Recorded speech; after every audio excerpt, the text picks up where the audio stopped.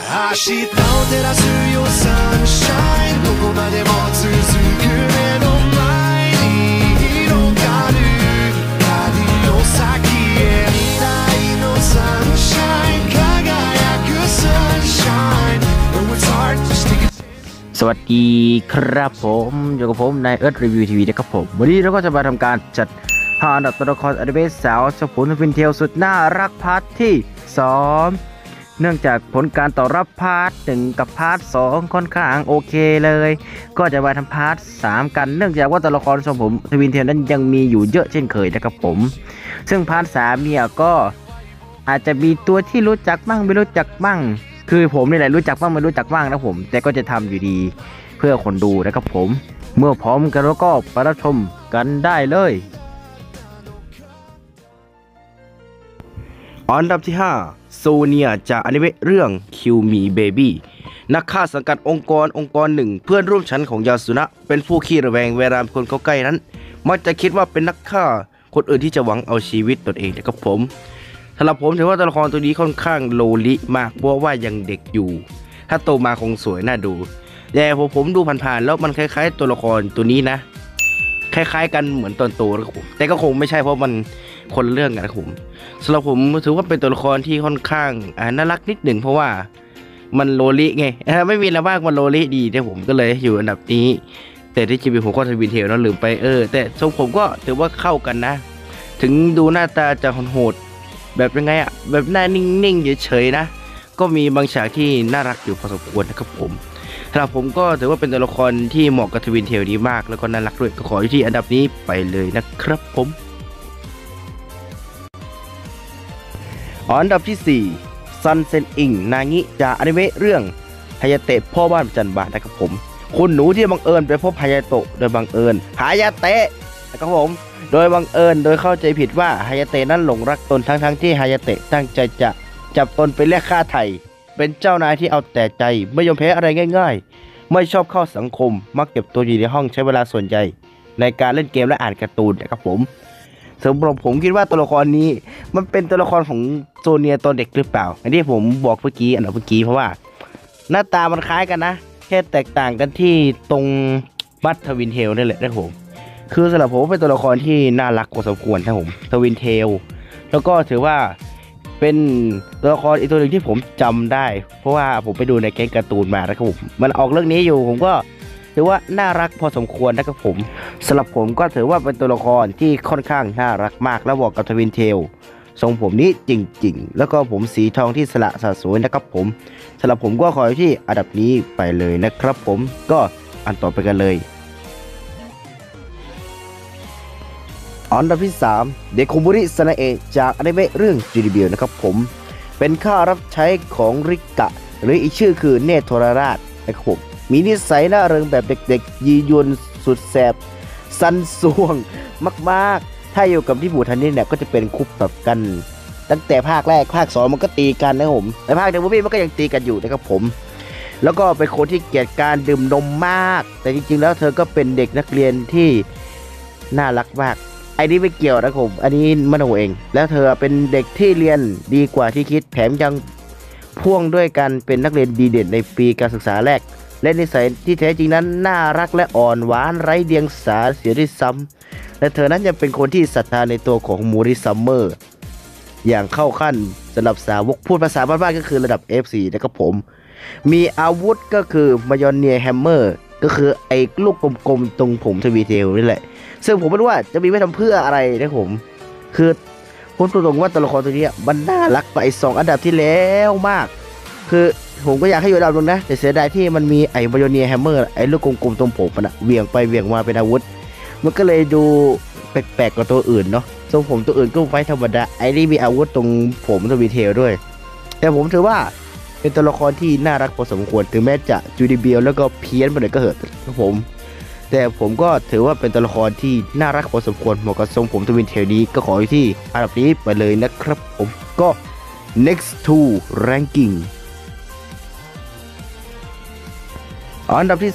2 เทเดซะริเซจากอนิเมะเรื่องรับน้องกระต่ายสักแก้วไหมคะ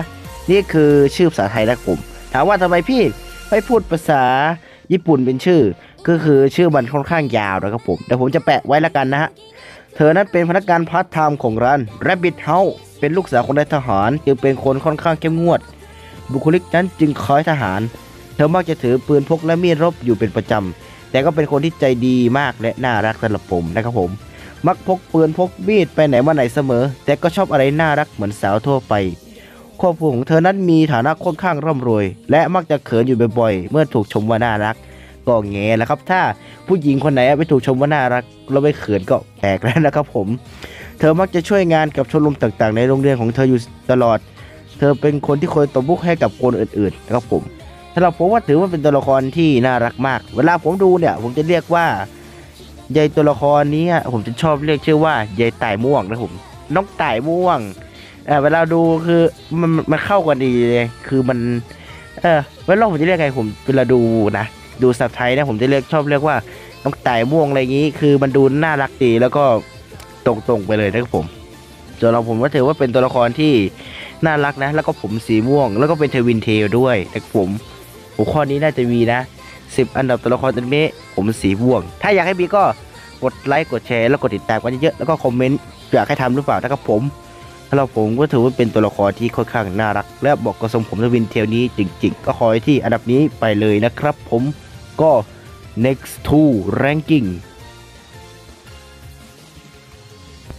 อันดับที่ 1 คนจิกิโนะยามิ จากอนิเมะเรื่อง To Love Ru เป็นนักฆ่ามาดขรึมไม่ค่อยพูด และมีเป้าหมายคือการสังหารยูกิริโตะ แต่ก็ไม่อาจจะฆ่าได้สำเร็จ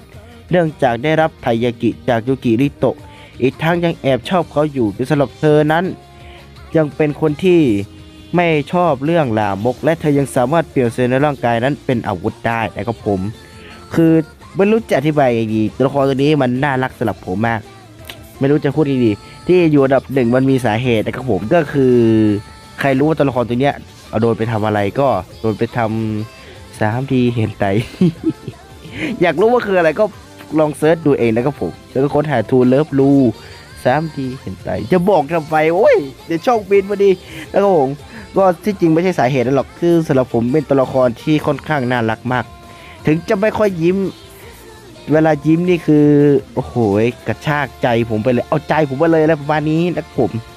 คือ ไอตัวละครบางตัวละครที่มันหน้านิ่งๆนะสำหรับผมแล้วมันยิ้มเนี่ยโอ้โหใจจะละลาย น่ารักมากผมทองทวินเทลนะครับผม ก็ไม่มีอะไรจะพูดแล้วก็คือสุดยอดแห่งความน่ารักก็คือยามิจังคนนี้นี่เองก็ขออยู่ที่อันดับหนึ่งไปเลยนะครับผมอันดับพิเศษฮินาตะคาโฮจากอนิเมะเรื่อง Blend S สาวหุ่นดีผมบลอนด์ทอง ทรงผม twintail อายุ 17 ปี เป็นเกมเมอร์ตัวยงและมีคาแรคเตอร์ประจำตัวก็คือซึนเดเระก็คือสาวปากร้าย แต่ด้วยความที่เธอเป็นเกมเมอร์นั้น จึงทำให้มีปัญหาเวลาลูกค้าคุยกันเรื่องเกม ก็คือเวลาคุยเรื่องเกมนี้ สมมุติเราคุยเรื่องเกมอ่า Street Fighter นี้อย่างนี้มันรู้มันก็จะไปแทรกเลยผมแล้วก็มีปัญหาในการทำงานทันทีสมาธิที่หลุดลอยไปคุยเรื่องเกมเลยนะผมงานการก็ไปทำแต่ผมก็เป็นตัวละครที่ค่อนข้าง ชอบมากสำหรับผมนี่คือชอบมาก ไม่งั้นจะมาอยู่อันดับนี้ทำไมล่ะครับผม ก็คือหุ่นเนี่ยดีมากหน้าอกเป๊ะ ก็คือสีผิวได้หน้าตาได้ ถึงจะมีบางฉากที่ค่อนข้างตลกผมแต่ก็ถือว่าเป็นตัวละครที่น่ารักมากสำหรับผมเออไม่งั้นจะมาอยู่อันดับนี้ทำไมแล้วครับผมคือน่ารักสุดๆนะครับผมแล้วผมก็ขอที่อันดับนี้ไปเลยนะครับผม โอเคนะครับผมก็เป็นยังไงบ้างครับสำหรับการจัดอันดับนี้ที่ผม ซึ่งหัวข้อนี้แน่นอนว่าอาจจะมี part ที่ 4 ก็เป็นได้เนื่องจากว่าสาว twintail นั้นยังมีอีกเยอะแยะมากมายนะครับผม ซึ่งถ้าอยากให้มีก็กดไลค์และกดติดตามกันเยอะจะได้มีกำลังใจในการทำคลิปนะครับผมก็ชอบคลิปนี้ก็ฝากกดไลค์กดแชร์กดติดตาม และฝากกดไลค์เพจด้วยนะครับผม ซึ่งหัวข้อต่อไปในการจัดอันดับก็คือซูเปอร์เซนไตนะครับผม ผมได้ประกาศเอาไว้แล้วนะครับผมว่าเป็นหัวข้อไหนก็ รอดูในแฟนเพจหรือหมวดชุมชนของช่องเอิร์ธวีดีนะครับผม แล้วก็หากใครอยากรู้ว่าคลิปของผมนั้นเพลงนี้ประกอบด้วยเพลงอะไรบ้าง เพลงอนิเมะอะไรบ้าง หรือเพลงอื่นๆ ผมก็จะทิ้งลิงก์ใต้คลิปนี้นะครับผมลิงก์เพลงผม แล้วก็สำหรับวันนี้ก็ต้องลากันไปก่อนนะครับ แล้วเจอกันคลิปต่อไป แต่ก่อนจะไปลืมบอกอีกอย่างว่าตอนนี้ช่องอัดวิวเปิดให้โดเนทกันได้แล้วนะครับผม ซึ่งเปิดโดเนทก็ไม่เพื่ออะไรมากนะครับผม เพื่อมาเป็นค่าข้าวในเซเว่นนะครับผมอย่างที่ผมบอกเลยกับข้าวแถวบ้านแม่อร่อยนะฮะ ซื้อข้าวเซเว่นอร่อยกว่าเยอะนะครับผมไม่มีอะไรมาก ผมก็สำหรับวันนี้ก็ลากันไปก่อนนะครับ แล้วเจอในคลิปต่อไปสายโยนารา